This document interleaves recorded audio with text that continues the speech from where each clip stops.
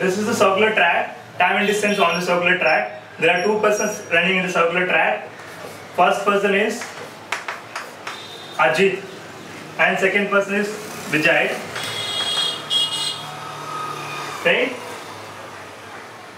Vijay is crossing the starting point on every third minute and meeting Ajith on every minute. The question is, Vijay is running in this direction and Ajith is running in the opposite direction.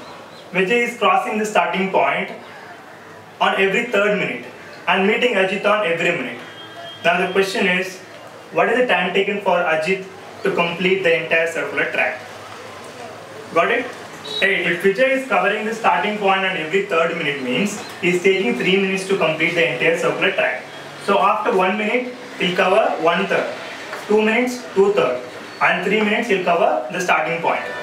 And he is meeting Ajith on every minute. So after 1 minute, Vijay will be here. Ajith, Ajith should cover 2 third of the distance.